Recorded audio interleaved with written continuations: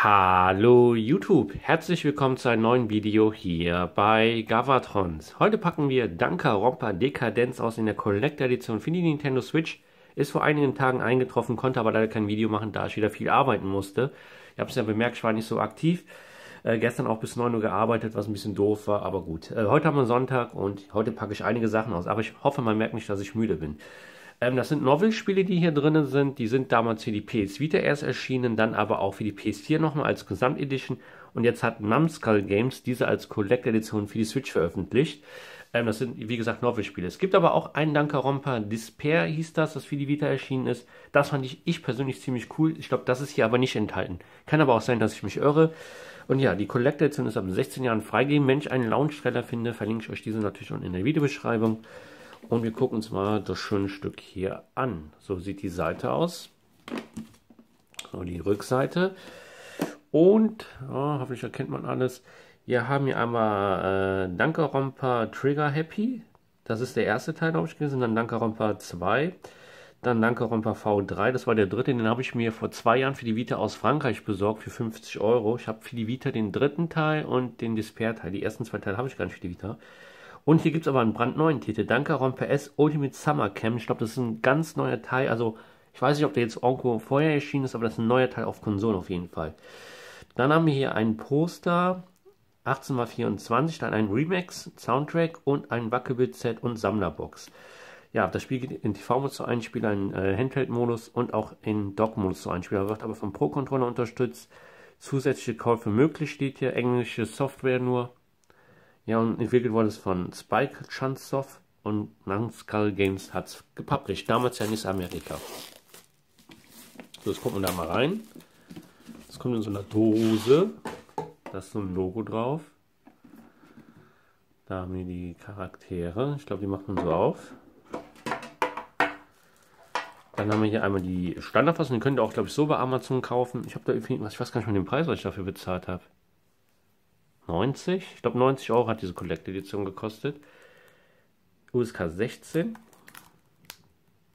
Packen wir jetzt gleich aus. Dann haben wir hier, ich denke, das soll das Poster sein. Das ist aber eher ein Tuch statt ein Poster. Ich aber jetzt mal raus. Ich hoffe nur, dass ich es wieder gefaltet kriege. Ich weiß nicht, wie die Leute das immer machen, die das verpacken. Ähm, aber die machen das immer schön. So, das sieht aber echt auch vom Material gefällt mir. Sieht aus wie so eine kleine Flagge, wie meine Ferrari-Flagge, die da hängt. Den Charakteren. Ich habe auch eine andere Collector-Edition bekommen zu dem neuen Asterix und Obelix. Das Video habe ich aber noch nicht hochgeladen, weil ich da ein bisschen enttäuscht war. Leider fehlten mir da einige Sachen. Der Schlüsselanhänger hat da gefehlt, die Sticker. Und was mir noch viel, viel später aufgefallen ist, ähm, der, der Schuber wir den Soundtrack.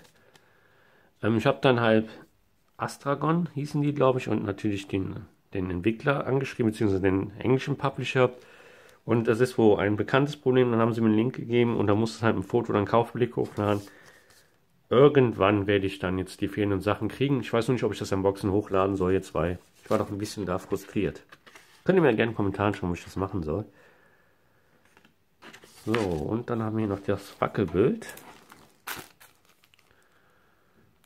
Seht ihr das?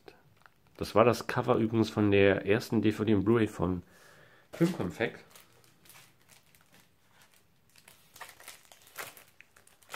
Dann kriege ich das auch auf.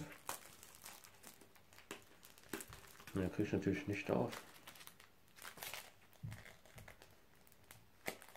Na komm. Ah, jetzt kriege ich es auch. So. Das kennt ihr jetzt gerade, habe ich euch gezeigt. So, na, es geht's nicht. Ach, da, guck. Dann haben wir das zweite. Das war auch das Vita-Cover, fällt mir gerade ein. Und dann das vom dritten Teil. Finde ich ganz nett. Und ja, auch die, ich finde die Dose cool. Der Soundtrack ist cool, das Tuch, aber das ist ja kein Poster. Für mich ist das eher so, ein, wie eine, so eine Flagge. Und das Spiel natürlich. Das packe ich jetzt auch noch schnell aus. Was ich ein bisschen schade finde, dass es keine deutschen Untertitel gibt. man hätte ja Japanisch lassen können, also die Sprache und deutsche Untertitel. Und ich glaube, dann würden sich die Spiele auch mehr verkaufen, aber gut. Leider nichts drin, nur die Karte. Und das war mein kleines Unboxing zu Dankarompa Discadenz, oder wie man das ausspricht. Spricht. Und ja, habt ihr euch das auch gekauft oder kennt ihr die alten Spiele? Was heißt die alten Spiele? Kennt ihr die Original für die Vita oder PS4? Schreibt es mir gerne in den Kommentaren. Ich fand, wie gesagt, den Despair-Teil richtig cool und auch den V3-Teil, den letzten, den habe ich ein bisschen gespielt damals. Fand ich auch sehr gut. Nur die ersten zwei Teile haben mir damals gefehlt. Und ja, das war's dann von mir. Ich wünsche euch noch einen schönen Sonntag. Immer einen Kommentar, Like würde ich mich sehr freuen. Finde ich einen Launch-Trailer, verlinke ich euch diesen natürlich unten in der Videobeschreibung. Könnt ihr euch ein Bild machen. Und ich bin jetzt weg. Auf Wiedersehen. Ciao.